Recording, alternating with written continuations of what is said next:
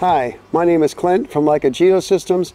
Today I want to show you a unique feature that we have with the Combo Plus and one of our CLAx lasers. And this feature is called Beam Catch. So we're at a job site here and I want to simulate a few things of how we do this feature. And what this feature essentially does, it'll tell you what kind of grade you have.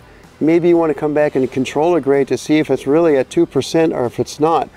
And you don't have a way of doing that. You can use Beam catch feature to do this and I'm going to show you how that's done. To use the beam catch you need to have a reference point. So this is the first step that we have. I'm going to set my laser at the bottom of my point and I'm going to adjust my receiver so that it is on zero, as close to zero as I can, so that we have our reference point established. Once we do this, we will move this receiver up to the top of our slope and use the beam catch feature right here to measure that slope. The second part of beam catch is to move from your reference points up to the top of a slope. I'm simulating one here on the job site, but the process is the same when you're on a regular job site.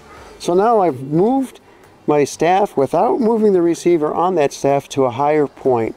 I'm going to use the beam catch feature, which is this button here, and I'm going to select in this case the x-axis, which is over here.